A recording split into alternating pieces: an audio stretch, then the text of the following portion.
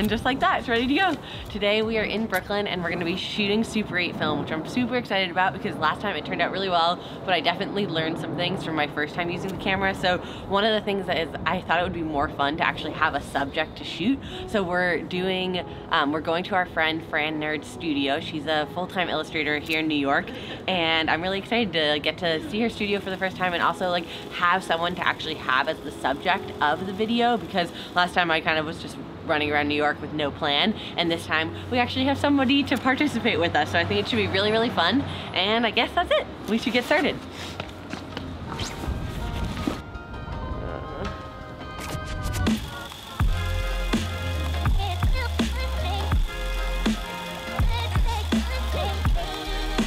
So that's my plan for today is to get shots that are at least three seconds because last time I did such short shots that it kind of was like too staccato. And so I want to get it more fluid today and have like a better consistency between the shots. I said I wanted to get more movement and now I'm gonna get another static shot. I'm doing it anyway, I think it looks cool.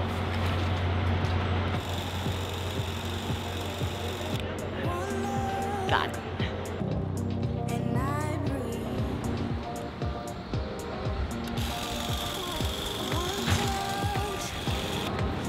Okay, that's enough of that.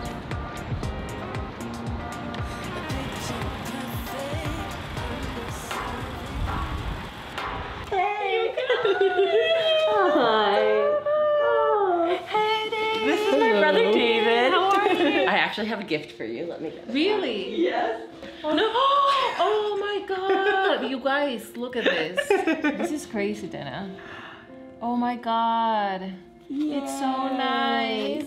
So my It's first so squash. nice. Can I put it here? yeah. Look at this. So, but yeah, back to Super 8, talking about painting. But she actually is an illustrator, and so I thought it'd be really fun to use the camera. First, I should show you this.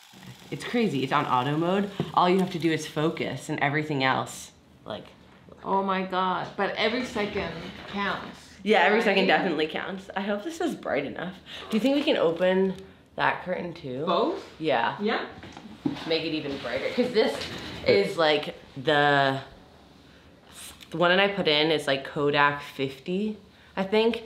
And it, it's supposed to be for like bright settings. And that's the issue I had with the last time I shot. Mm-hmm. I shot some scenes in the subway and it just came out so much darker than I oh, expected. Oh no. So let's see if this works. Oh, you look pretty.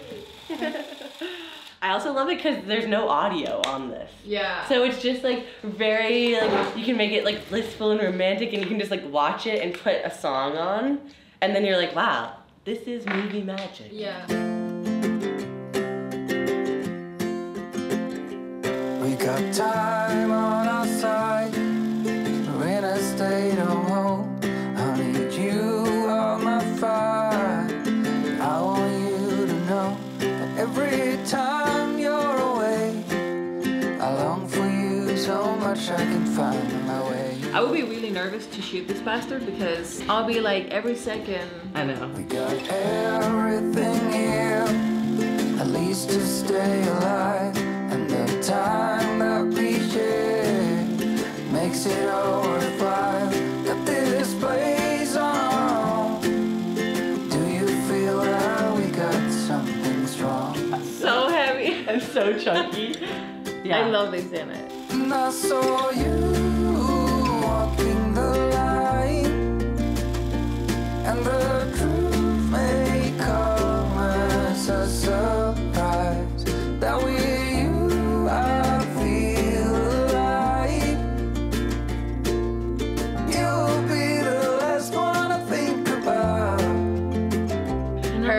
is a uh, amazing film photographer. He actually has a YouTube channel. Plug Ed Pavez. He has an awesome YouTube channel and it's all about like analog photography. And I saw you walking the line, and the truth may come as a surprise. That with you I feel. All clean. I'm done, baby. Let's go eat pizza. Pizza. Bring the camera.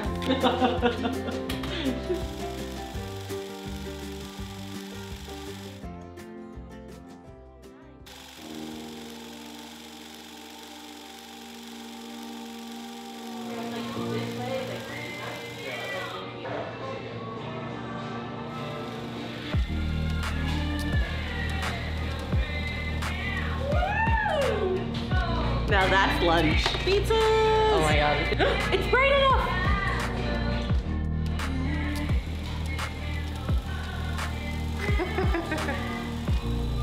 Go for it.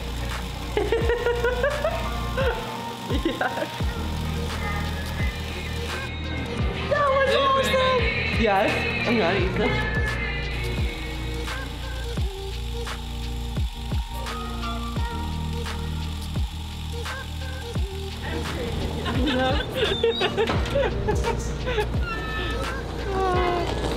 okay, we leave you here. Dana. So Fran just told us that the botanical garden is actually free during the week in the winter.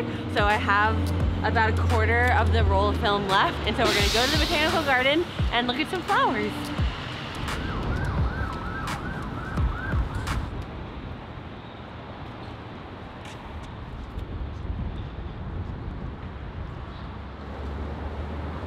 So one of the things that I realized, I was having a ton of trouble getting things in focus on this video and the last one actually too.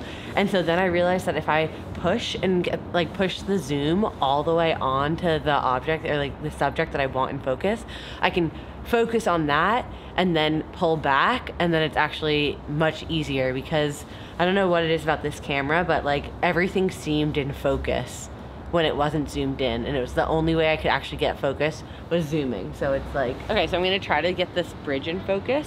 And before I would have just gone like this and then put it to the max like the figure eight. But now I'm gonna go like this zoom into the bridge get the focus on that and then zoom out frame it. And I think it's like a much more effective way to get something in focus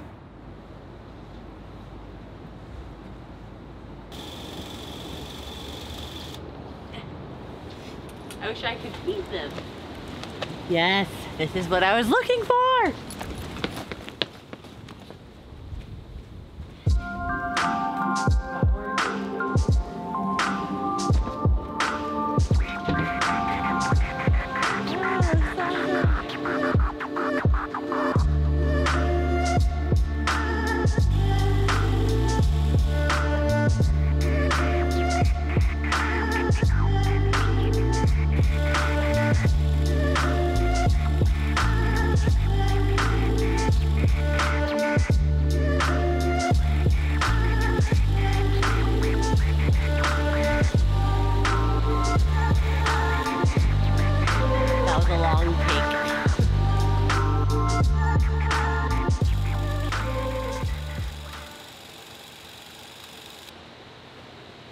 So we just finished up the roll, and I thought we were gonna shoot two rolls of film today, but honestly, I feel like that is plenty. We met some beautiful people and also hung out with old friends, and I feel like that was a very successful Super 8 day, and I'm excited to see how the footage turns out.